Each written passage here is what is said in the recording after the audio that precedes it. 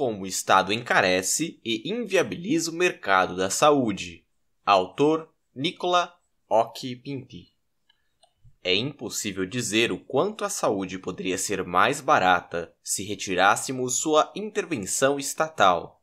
De início, o Estado estabelece na cultura da sociedade que a saúde é um direito.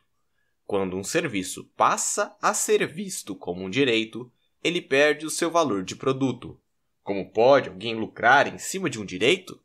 Percebemos esse pensamento dentro do mercado de saúde e de educação, dois serviços que são considerados direitos pela população. Isso sempre vai acontecer com qualquer serviço que o Estado venha a oferecer gratuitamente. Não existe almoço grátis. Todos esses serviços têm custos que são ainda maiores quando estatais, mas, mesmo pagando indiretamente em impostos, os olhos do povo vão enxergar aquele serviço como gratuito e, consequentemente, como um direito. Após estabelecido na cultura que não se pode ganhar dinheiro com saúde, diversas regulações estatais surgem para garantir que ninguém lucre nesse mercado. A ação mais direta que encarece a saúde são os altos impostos para empresas de serviços médicos e hospitalares, que pagam quase o dobro de tributos que empresas de comércio comum. Nota comparação do anexo 3 para serviços médicos e anexo 1 para comércio do Imposto Simples Nacional. Fecha nota. Podendo chegar em até 30% do faturamento, que são de quase 34%.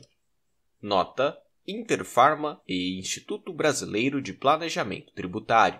Fecha nota.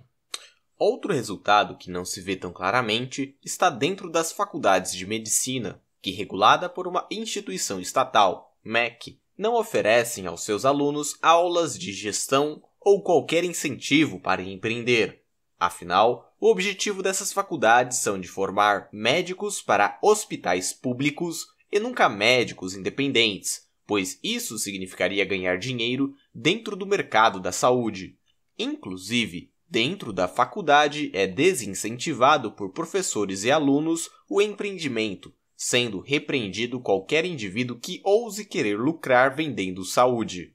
O resultado é uma baixa oferta de clínicas e consultórios independentes que, segundo a lei do mercado de oferta e demanda, encarece o serviço. Mesmo em meio dessa situação apresentada, o Estado, incoerentemente, também tenta proteger a lucratividade dos médicos, usando do discurso que, caso o mercado fique muito barato, não teria incentivo para atuação no mercado de saúde. Essa afirmação vai contra qualquer lei de autorregulação do mercado, pois caso, por algum motivo, o valor da saúde fique abaixo do valor subjetivo que as pessoas têm sobre o mercado, não demorará muito para o valor se ajustar, pois a oferta iria cair, com médicos desistindo de atuar, ou a demanda iria aumentar, com mais pessoas procurando saúde.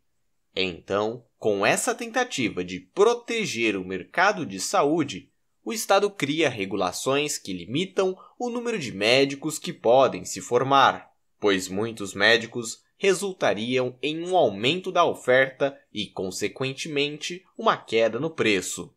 Outra regulação está em cima dos procedimentos que são exclusivos para médicos, mesmo podendo ser perfeitamente executados por outros profissionais de saúde como biomédicos, enfermeiras, psicólogos e nutricionistas.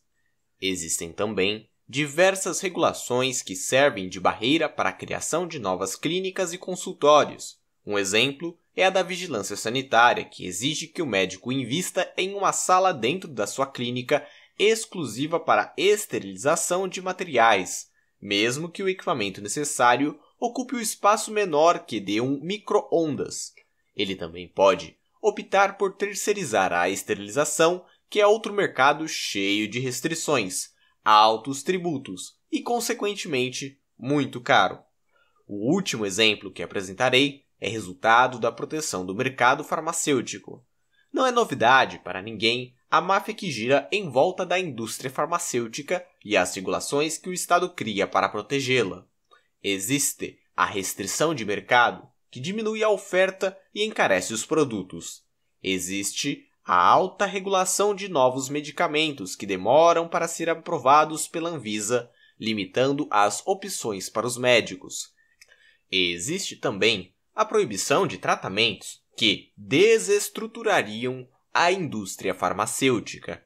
Isso é, tratamentos muito baratos e eficazes que acabariam com a venda de alguns medicamentos. Harry Brown disse: O governo é bom em uma coisa. Ele sabe como quebrar as suas pernas apenas para depois lhe dar uma muleta e dizer: Veja, se não fosse pelo governo, você não seria capaz de andar. O Estado encarece o mercado de saúde para depois nos entregar um sistema ineficiente, dizendo que se não fosse por ele, ninguém teria acesso à saúde.